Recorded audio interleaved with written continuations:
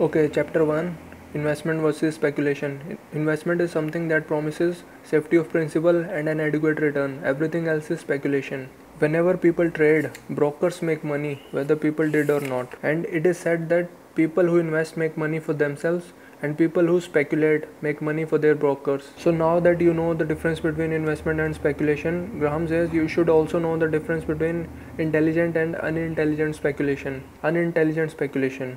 Speculating when you think you are investing.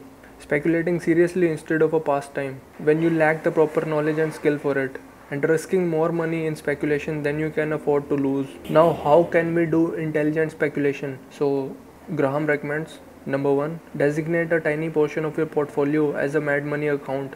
10% of total investment is maximum permissible. Second, never put more than 10% in your mad money account no matter what happens. Even if the market goes up, you should not put more money in that account. It would be better if you sell that and bring it back to 10%. Number 3, never mingle investment account with speculative account. Number 4, never allow your speculative thinking to spill over into your investing activities. Finally, try to confine and restrain speculating. You can do it but under control. Future of security prices is never predictable since you cannot predict the behavior of markets. You must learn how to predict and control your own behavior. So now let's move on to chapter 2 investor and inflation. So in this chapter graham talks about gold as an inflation hedge.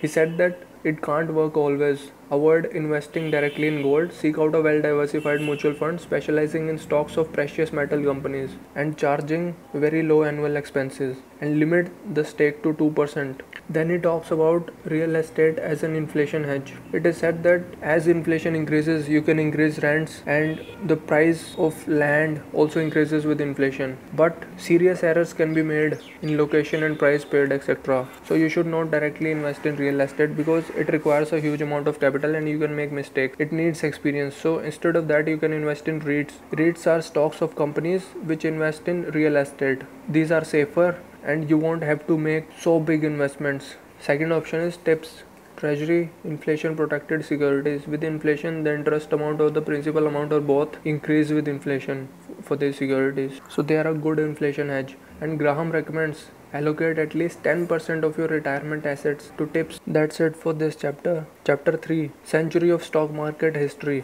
Intelligent investor must never forecast the future exclusively by extrapolating the past. Everybody makes the same mistake. So, is the market risky simply because the prices are higher today than a year ago? Most of us will say, What does price have to do with risk? But Graham says they are risky because of higher prices today, and you'll be punished if you think they're not. Intelligent investor asks simple questions like why should future returns of a stock be same as past returns?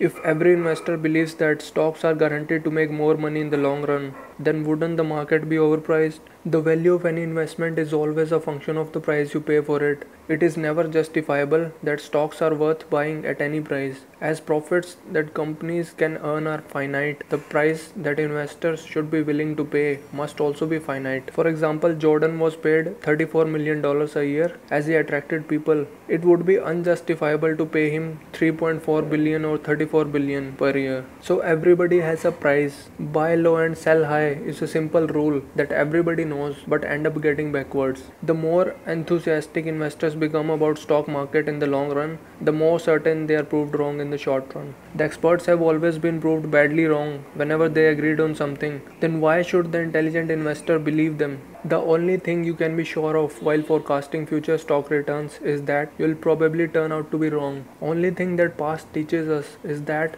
the future will always surprise us. Always. So you should stay humble about your forecasting powers. Market will surprise the very people who are most certain that their views about future are right. So as somebody has said blessed is he who expects nothing for he shall enjoy everything